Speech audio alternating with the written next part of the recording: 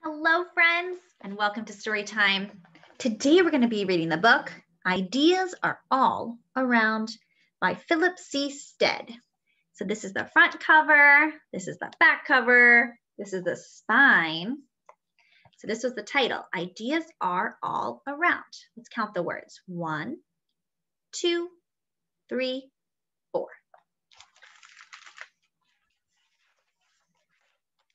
This book is dedicated to the dog. Ideas are all around. This is the title page. Today, outside my house, the sunflower opened up. Hello, sunflower. I planted it from a packet of very old seeds. There were a lot of seeds, but only this one grew. Actually, there was one more, but it fell down in a rainstorm before it could open. Planting a seed is always a risk. I have to write a story today. That is my job. I write stories. But today, I am out of ideas. This is my dog, Wednesday. She doesn't like me to write stories. It's sunny out and Wednesday wants to go for a walk. Come on, Wednesday, let's go. Together we walk over the bridge, down the concrete stairs, and under the bridge and across the boardwalk, beside the river rolling lazily by. There, on a small log, is a painted turtle sitting very still in a pocket of sunshine. His name is Frank. Hello, Frank, I say. And like each time before, he makes a quick for the dark water and disappears. Goodbye, Frank. Someday, I hope he looks forward to these spidgets of time we share. Me and Frank, we're in this together after all. Hi, Wednesday, comes a loud voice all the way from up the hill on the other side of the river. It's Barbara. Wednesday loves Barbara.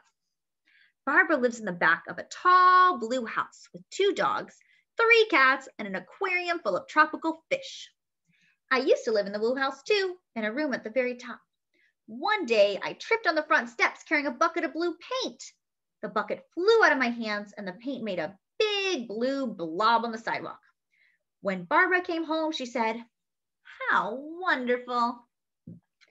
A blue horse. Oh, friends, I think that's the picture from the front. It's a blue horse. That's the shape that the paint made when it fell. Hey, Barbara, I call out. Maybe we'll stop by later. Okay, she says, I'll make coffee. Then comes a line of ducks floating downstream. Hello, I say. I don't have any ideas today.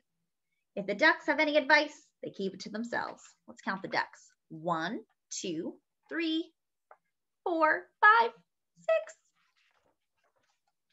Written in spray paint on the boardwalk near my feet are the words, stop war, which is a pretty good idea if you ask me. What do you think? I ask a tall bird standing in the water. The bird flies away when Wednesday gets too close. I don't think birds like dogs that much. I think they're scared of them. How wonderful. It's a bird flying away.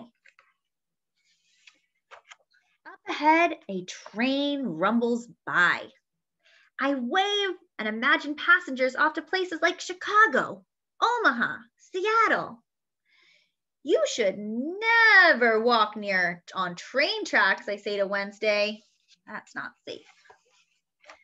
But we do it anyway. The dog is walking on the train tracks right there. If we follow them far enough, we'll end up in Cleveland, Baltimore, New York. But instead, we walk uphill, past the school, and around the big purple house. We stop at the stone church where a long line of people are waiting for the soup kitchen. Nice day for a walk, a woman says to Wednesday. A man in a wheelchair bends down and scratches Wednesday behind the ears. I used to have a dog just like you, he says. Wednesday wags her tail and more people come to say hello. No one seems to notice me. So I wait and watch the blue sky.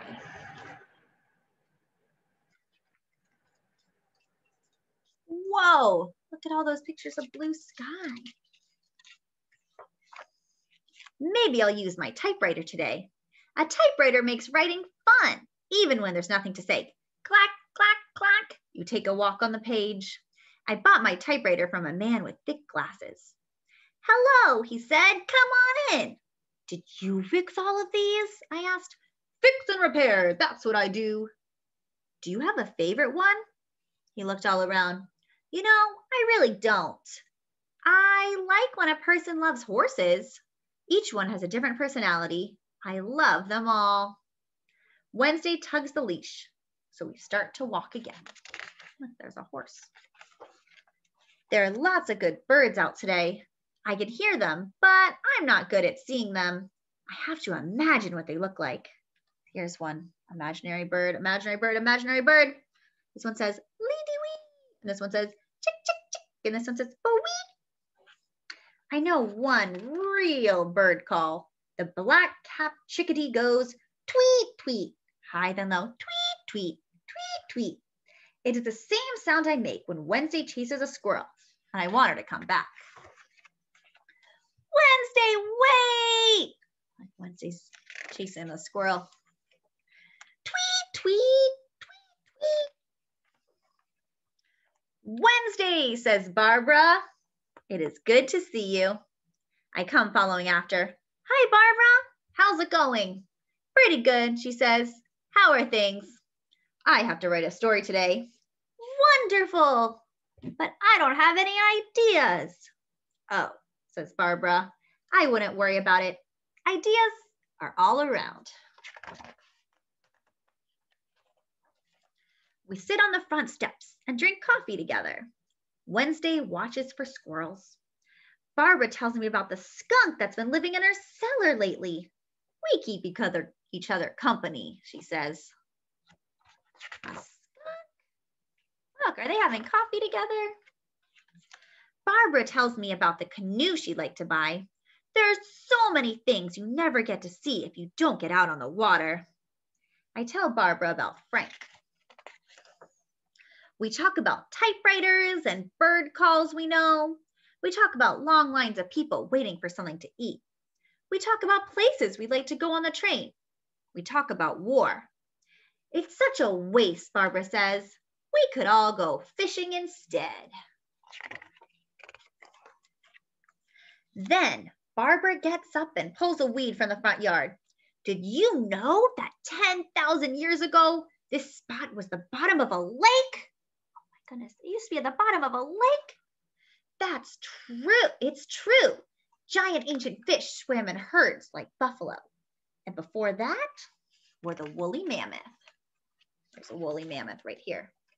This neighborhood has seen so many things. Let's go, I say, and they follow me home like friendly ghosts. Clack, clack, clack, clack, clack, bing. Together, we take a walk on the page. There's the page. There's the typewriter. Wednesday falls asleep and dreams of squirrels.